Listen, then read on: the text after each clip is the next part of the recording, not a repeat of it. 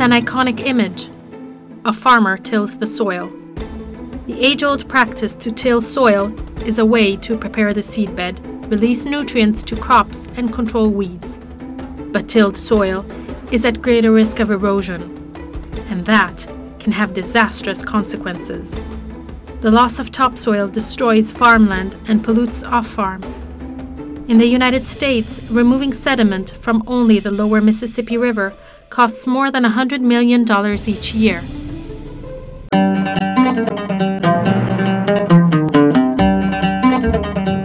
Other costs from soil erosion are immeasurable.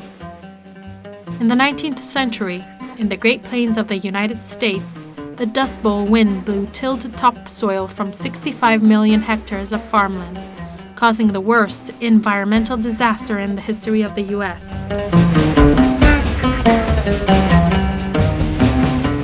Throughout the world, the problems associated with soil degradation are increasing due to climate change. More frequent extreme weather events, such as storms and floods, impact degrading soil more. And due to the fast release of greenhouse gases, the degradation of soil is in itself a cause of climate change.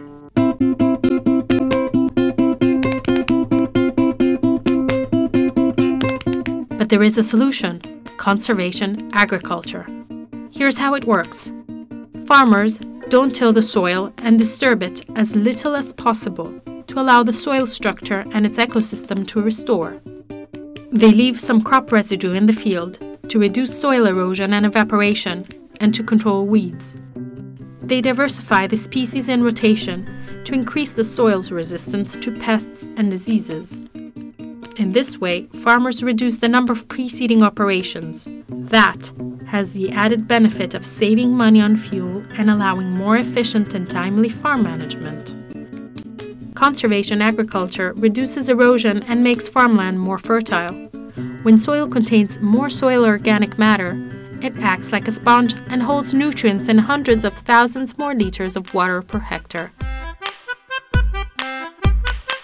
It's a challenge to change an age old practice like tilling the soil. It's been done for generations, and it requires investment in effective herbicides, new equipment, and know how. But the benefits of conservation agriculture can keep farms productive for new generations to come, with the lowest costs for adaptation and mitigation.